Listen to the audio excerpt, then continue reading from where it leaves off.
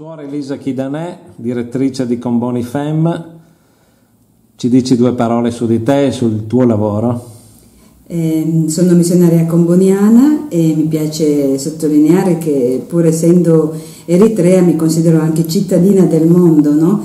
E, ehm, ho lavorato alcuni anni in America Latina ed è bello vedere che l'Africa no, eh, parte per l'America Latina e da alcuni anni invece sono qui in Italia e, e nel lavoro appunto della redazione del Comboni Fem, la rivista delle missionarie comboniane.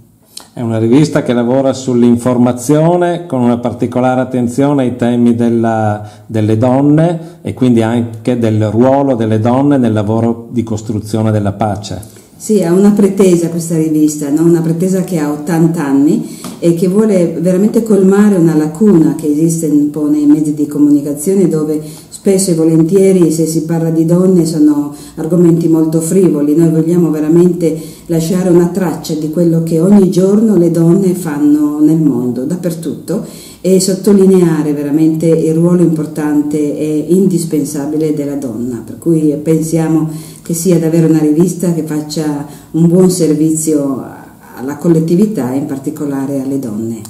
Pochi giorni fa abbiamo ricevuto la triste notizia di tre sorelle vittime della violenza in Burundi. Puoi fare un breve ricordo di loro? Sì, è bello ricordare eh, Suor Lucia, Suor Olga e Suor Beniamina, le tre sorelle uccise appunto come è stato detto in Burundi. No? E quello che so, so, sorprende in, questo, in, questo, fatto è che eh, si parla di loro quando non ci sono più, cioè eh, appare la loro presenza quando non ci sono più.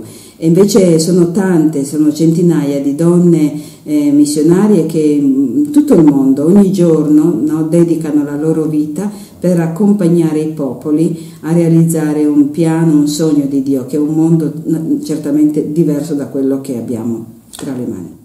Per concludere, un tuo messaggio particolare alla manifestazione di oggi a Firenze, facciamo insieme un passo di pace, quale può essere il ruolo vostro delle missionarie comboniane in Africa per il processo di pacificazione? Eh, quello di esserci, eh, penso molto importante, eh, Comboni diceva vorrei avere mille vite per poter dedicarle tutte all'Africa, oggi noi diciamo, perché ci rendiamo conto che non bastano più le mille vite, vorremmo altre vite, altri giovani, altre persone che eh, oltre a, cioè uno dei, dei, dei, delle possibilità di perché questa pace veramente eh, in non di scoppi nel nostro mondo sia quello di mettersi veramente no, a fianco dei popoli e cercare di insieme di pretendere, di lottare, di fare di tutto perché la vera pace, che è la base di, della dignità della persona umana, possa veramente essere pane quotidiano di, di, tutti i nostri popoli. Quindi un messaggio ai giovani, soprattutto presenti in questa manifestazione, non abbiate paure, non lasciatevi rubare, direbbe eh, Francesco, la voglia di diventare eh, eh, compagni di viaggio dei popoli che cercano la pace. Grazie.